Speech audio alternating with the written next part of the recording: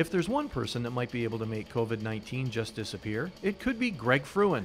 The Niagara Falls magician has recently reopened, and he couldn't be happier to be back on stage. If retirement is what I just went through for the last five months, I'm never retiring.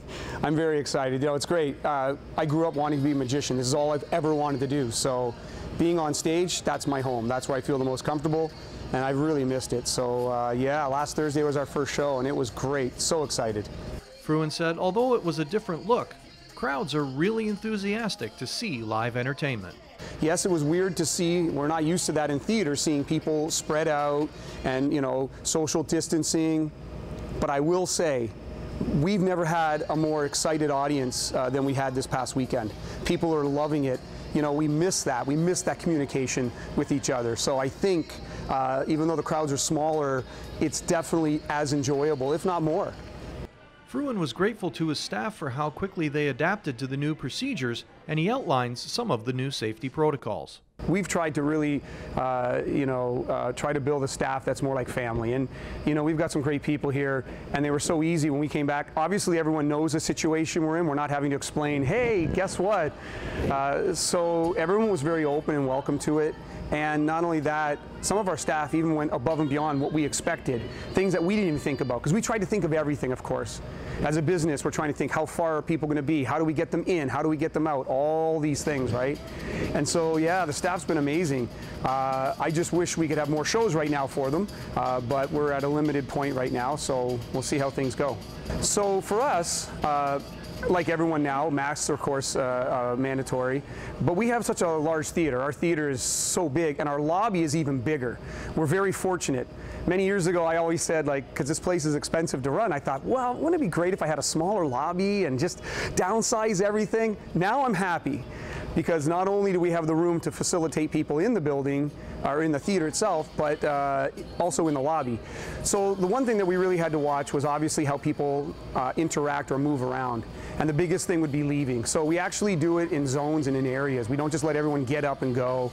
Try to maintain, and you know the great thing is, everybody is willing to work together. So we've seen no problems, nobody's fighting the system or having problems with it.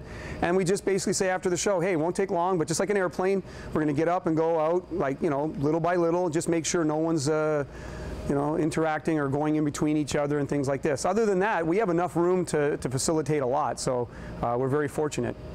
Frewin has always been involved in charities here in Niagara, and there will be a few events coming up.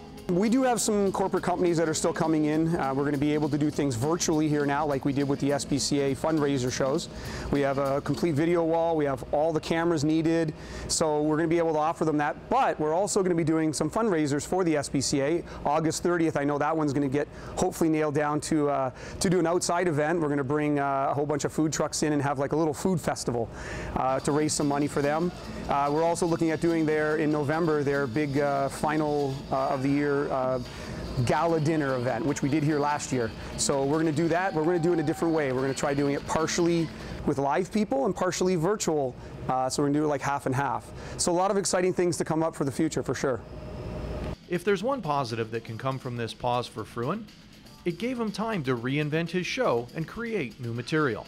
Actually, I took the time during uh, the sort of lockdown and staying at home uh, and some of it's not even on stage yet, but to create, because I mean, I have to now work with my team and rehearse stuff. But it made me change my thinking, and actually it came at a good time because we were actually looking at changing the whole show, the way we do it, the concept of the show, more story about me and my life. And this actually wouldn't have happened at a better time because we were right ready to get into that and this gave me a lot of time at home to work on new material, writing new scripts, uh, creating new ideas. Now for the next six months till next, I would say around next April, March, April, I'm going to implement all those new ideas, new routines, and you're going to see a whole different show than you did last year. So for me, I'm trying to get as much out of this as I can to move forward in a positive way. In Niagara, you're watching The Source.